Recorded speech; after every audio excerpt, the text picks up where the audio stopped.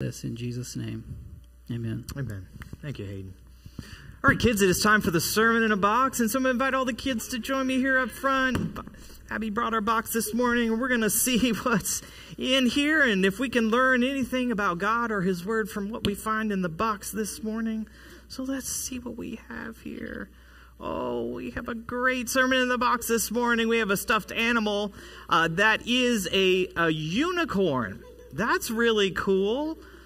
I don't, you know, there is there's actually one place in the Bible where the word is is is is translated as unicorn. It's not really it's not really clear what that word means. So I'm not sure there are unicorns in the Bible, but unicorns are are magical creatures, right? They're magical creatures and um and you and you know what? I you know like there are some there are some strange creatures in the Bible, um, but what the Bible teaches us is that all creatures are God's creatures, and our world is full of maybe not unicorns, but really interesting creatures, right? There are really interesting animals all around us. And the Bible teaches us that God made all of them and that they are all a part of the good things that He has made. And, and we're learning, even in our sermon series, how God cared so much for not only people, but for the animals that when there was a flood, he gathered them to the ark and he preserved them because they show his goodness and they are a part of his creation. And so we should celebrate him and what he has made. So that's what I got for the unicorn this morning. Thank you so much uh, for sharing that. With, can I send that home with you guys this week? All right, we'll send it home with the Atalas.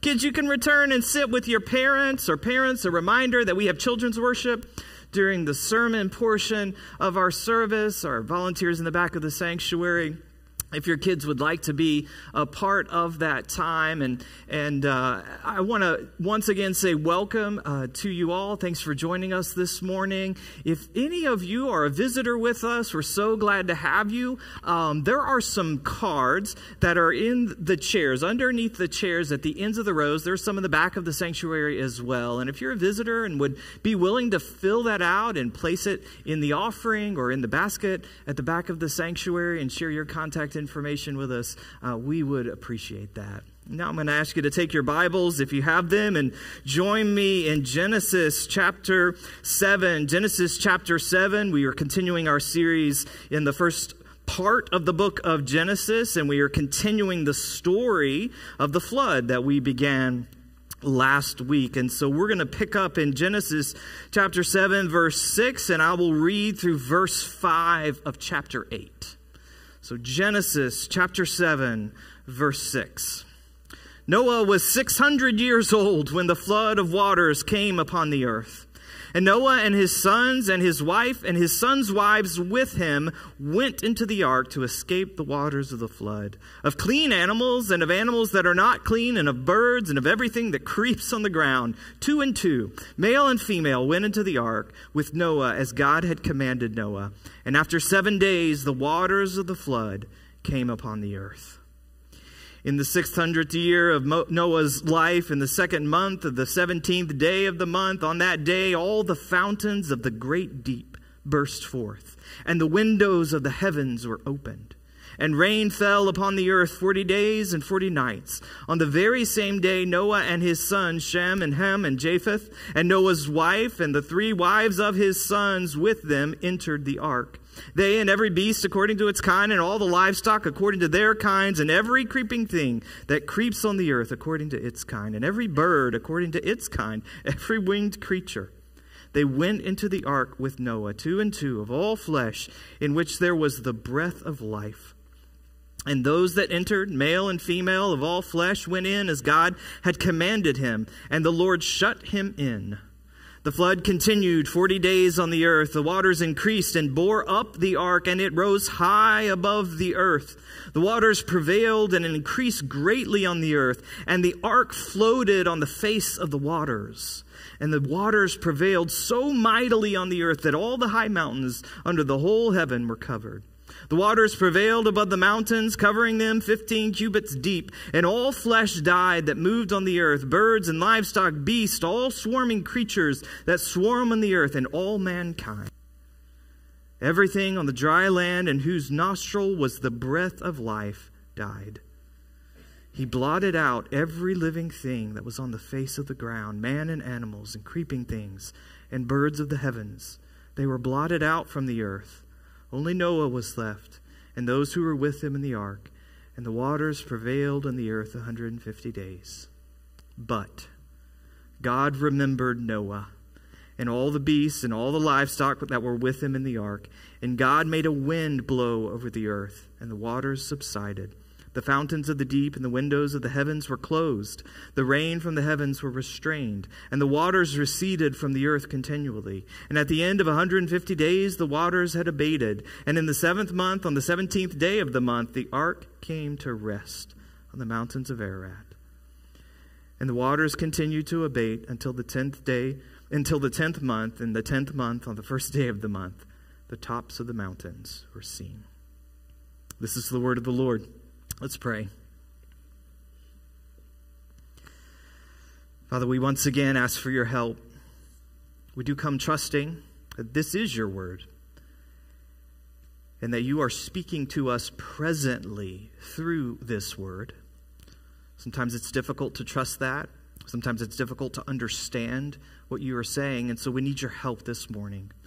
We need your spirit to open our eyes and our ears, our minds and our hearts to receive what you are saying and to be changed by it. And we pray that in Jesus' name. Amen.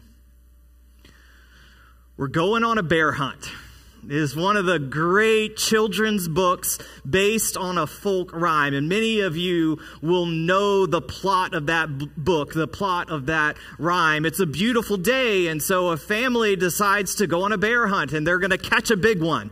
And so they go through all of these obstacles uh, the grass, and the river, and the mud, and the forest, and even a blinding snowstorm. And finally, they find their way to a cave, and they come face to face with a bear. And then what happens? Well, they're terrified and they, they sprint all the way back through those obstacles and they come to their home and they shut the door and they lock the door and they jump under the covers of the bed and they say, We're not going on a bear hunt anymore. This morning could be like that book. Because we are here this morning not hunting a bear but meeting God. We are here in worship to meet God. But the God whom we meet in His Word, in the story we began last week and continued in what we've just read, the God we meet in these words is terrifying. The death and the destruction, all life blotted out. The death and the destruction of the flood is disturbing and overwhelming. And so, what are we going to do as we meet this terrifying God? Maybe some of us are tempted to run home and to lock the door and to pull up the covers and say, No more. No more of that God but I'm going to ask you not to do that this morning. I'm going to ask you to take a few moments with me. Let's take a few moments in the cave, face to face with the bear, and consider the God of the flood.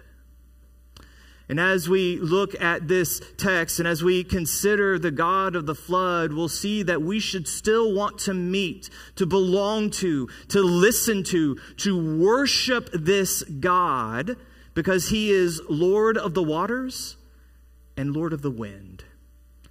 First of all, he is Lord of the waters. We need always to keep in mind Genesis chapter 1. And how does the story of creation begin? Creation begins as tohu vavohu, right? Formless and void. It begins as darkness over the face of the deep. Everything begins as water. And God, as the creator, shows himself to be Lord over the waters. And he divides, he separates the waters above that come down from the sky and the waters below that bubble up from the ground. And then he gather the, gathers the waters below so that dry land appears, so that he can fill that dry land with waters and animals and ultimately humanity. And in the flood, God the Creator, the ruler over the waters, takes down that structure. He takes away those boundaries. He removes the boundaries between the waters above and the waters below. And so in uh, chapter in chapter 7 tells us that the windows of heaven open and the fountains of the deep open and collapse. The water, the structure, the order that allowed for life collapses and covers the face of the dry ground, destroying all life on the dry dry ground. The flood is creation in reverse. It is God decreating, deconstruction, deconstructing the structures that allowed for life. He takes apart the order of his creation and returns all things to that original primal state of, of tohu vavohu of chaotic, formless water. And why does he do that? Well, we answered that question partly last week. Do you remember that the pattern of sin had multiplied and it had filled the world with violence and corruption? And so the flood is God filling the world with what the world is already filled with. The chaos of the waters reveal the chaos of violence that had filled God's good creation. And so God reveals in the flood the nature and the effect of sin. But the waters of the flood are not only a revelation, they are also an opposition. God not only shows the nature and the effect of sin, he also opposes the nature and effect of sin. You notice what uh, chapter 7, verse 19 says about these waters. It says that they are mighty and they prevail. This is military language, and it directly echoes the language of chapter 6, verse 4 which shows us as the result of idolatry and sin that the world was filled with Nephilim, with mighty men. And it was these mighty men who filled the creation with the chaos of violence and vengeance and death. So, do you notice the language connection? It is the mighty waters of God that confront and overcome these mighty men and what they had done with God's creation. The chaos of the waters confronts and overcomes the chaos of this violence and vengeance. The terrifying power of God confronts and overcomes the multiplying power of sin. And that's why we need the God of the flood. That's why we need the one who is Lord of the waters because we need the one who has the terrifying power to confront and overcome the multiplying power of sin. I was watching one of the bowl games at the end of the college football season last year, and the TV broadcast was showing some of the festive scenes around the stadium in preparation for the game. And, and one of the scenes that they showed was a, was a shot that showed all of the instruments of the marching band laid out on a concrete slab underneath the stadium which struck me as odd. And, and I looked closer and I, and I noticed that uh, there was a man dressed in a, a law enforcement uniform leading a dog in between those instruments. It was a bomb sniffing dog making sure that the tuba player wasn't sneaking a weapon into the game. Which is depressing, isn't it? That our world is so full of violence and fear that even the marching band is not above suspicion. And that's why we need the God of the flood. That's why we need the Lord of the waters, because the God of the flood shows us a God with the power to oppose and overcome, and will in the end overcome the seamless, endlessly multiplication of evil. The flood shows us that the world will not always be that way that there is one who possesses terrifying power, who will stand against and who will overcome the multiplication of the effects of sin on his creation. And we need that not only as hope for the future, but we need that presently and personally as hard as that is to hear, we need the God who has the power to say no to us. We need the God who has the wisdom and the power to oppose and overcome the multiplying effects of our sin in our life, in our relationships and in our world. But still, that word terrifying. Because isn't the no of God utterly overwhelming? Isn't the opposition of God utterly destructive? Well, this is where we need to see that the God of the flood is not only Lord of the water, he is also Lord of the wind. Did you notice how the vast majority of this text is not about the flood, is not about the waters? The vast majority of this text is about the animals and the people who process into the building project that God gave Noah last week. They process into this sanctuary of God's presence and protection. The vast majority of the text is about them. And you notice how chapter 7 verse 15 describes these animals and these people. They go with Noah two by two, all flesh in which are the breath of life. And this is another recall, this is another call back to the original creation and especially to Genesis chapter 2 when God breathes into the nostrils of Adam the breath of life. And so, as the waters cover the dry land and destroy the breath of life on the dry land, God gathers into this sanctuary of His presence and His protection. He gathers and He preserves the breath of life in this sanctuary.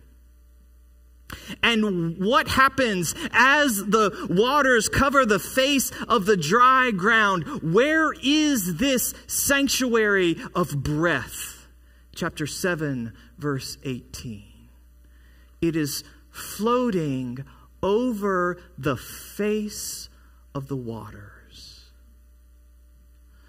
Until chapter 8, verse 1, God causes a wind, which is the same word as breath, a ruach, to blow. And what happens?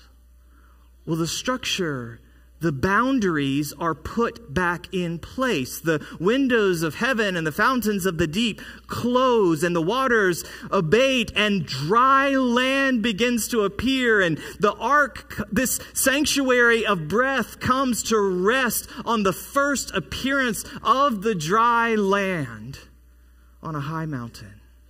Now, where have we heard all of that language before? Genesis chapter 1, verse 2. When all things began, as tohu vavohu, formless and void, and darkness was over the face of the deep, what else was over the face of the waters? It was the Spirit which is the same word as wind and breath. It is the ruach of God that hovered over the face of the waters, the exact language in Genesis chapter 7 and 8. The Spirit of God hovered over the face of the waters, and that's what brought about the structure of creation. That's what allowed dry land and life to appear.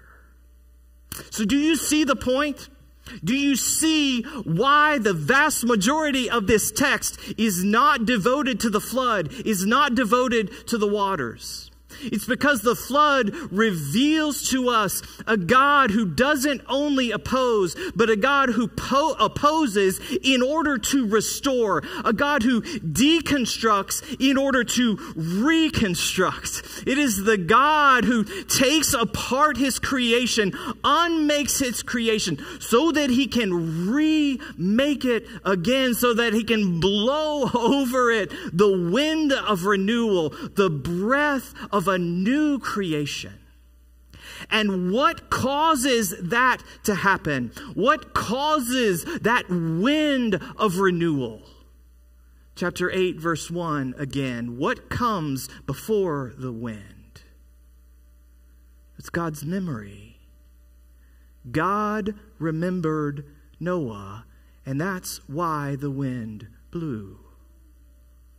Now, that does not mean that God temporarily forgot Noah. This is almost technical language in the Bible for God beginning to act according to the relationship that he has with someone. So in the Exodus, he sees the suffering of his people. And Exodus chapter 2 says he remembered his covenant with Abraham, Isaac, and Jacob. And so he begins to act to rescue them. So that's what's happening here in Genesis 7 and 8. God remembers the covenant that he had made with Noah in chapter 6. And so he begins to act according to that relationship, the relationship that he had with Noah. That's where this wind comes from. The wind of re- renewal is the result of God's loyal love to Noah. And this is why we need the God of the flood. Because he is not only Lord of the waters, but he is Lord of the wind. Because he is not only the God who opposes, but he imposes in order to restore. He unmakes in order to remake. He is the God who says no so that he can say a better yes. The yes of a new creation. But how do we know that we belong to the memory of God? How do we know that we belong to the memory of God that produces this wind of renewal? Well, we know that because a woman named Mary sang a song celebrating the coming birth of her son her son that was the result of the Spirit, the presence, the breath of God overshadowing her womb. And so, as Mary sings in celebration of that coming birth, and this is in Luke chapter 1, she says that birth is happening because God has remembered his mercy. And then a few verses later, a man named Zechariah, whose name means God remembers. He sings a song in celebration of the birth of his son, John, who will point people towards Mary's son, Jesus. And Zechariah says, All of this is happening because God has remembered his holy covenant. Which is why Mary's son, as he sits down at that meal the night before he died with his friends, hands to them a cup and says, This is my blood, and it is the blood of the new covenant. It is the blood of this relationship that God remembers. And then he went to the cross and he suffered that judgment. He suffered the no. He suffered the opposition that our sin deserves, but then he rose with the yes of a new creation. And then he ascended into heaven and he gave his spirit, the spirit that hovered over the face of the waters. He gave his spirit to his church, to the community of people who belong to him. And what did it sound like when he gave his spirit to them in Acts chapter 2? It was a mighty rushing wind. You see, it is in Jesus that you belong to the memory of God. By repentance and faith in Jesus, God is breathing into your life this wind of renewal and is filling His creation, this chaotic world, with the renewal that comes from His presence. In Jesus, you belong to the God who opposes so that he can restore. You belong to the God who will deconstruct, but so that he can reconstruct something even better. You belong to the God who will say no to your sin, but who says no so that he can say an unimaginably beautiful yes of new creation over your life. So, what would it look like tomorrow for you to wake up assured that God remembers you? to wake up tomorrow and know that whatever happens this week, God remembers you like he remembered Noah. In Christ, he remembers you. And through your life is filling the chaos of a world broken by sin with the beauty and the goodness and the order of his new creation. What would it look like for you to live assured of that? So we're going on a bear hunt. Ends, at least the book ends, not with no more bear hunting. No, the book ends with the bear sadly trudging back to his cave. Sad because he wanted to meet and befriend this family who is so afraid of him. That's not how the flood story ends. The flood does not end with God sadly forever turning his back on his creation. No, the flood shows us, yes, that they're a God of terrifying power, but also an even more a God of renewing love. And by his Son and Spirit, he does not leave us in the locked door of our fear, but he has come to make his home with us. So open the door, unlock the door, open the door of your life to this terrifying God. Why? Well, because He has opened the door of His sanctuary. He has opened the door of His never ending, new creating love to you through the gift of His Son and Spirit. Let's pray.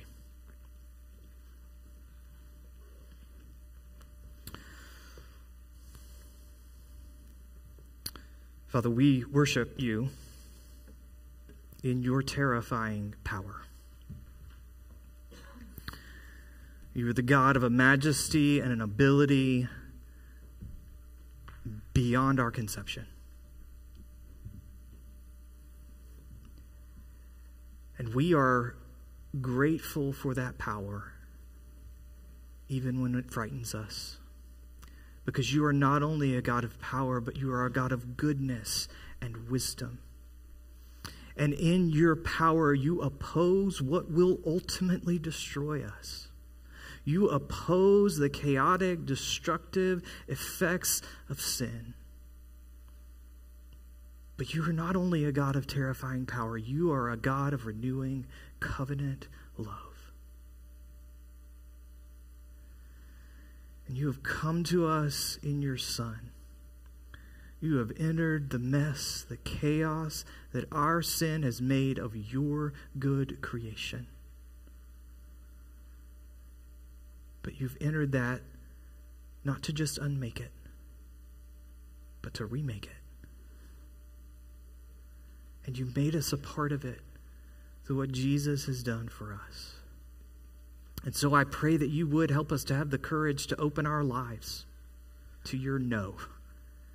We would open our lives to your opposition to sin and the effects it has on us and those around us but we would open our lives in repentance because your opposition leads to restoration. Because by your Son, you are breathing on our lives the wind of renewal. Would you give us the hope of that? Would you fill us with the assurance that you remember us? and you will never abandon the promises you have made to us in your Son. And we pray it all in Jesus' name. Amen.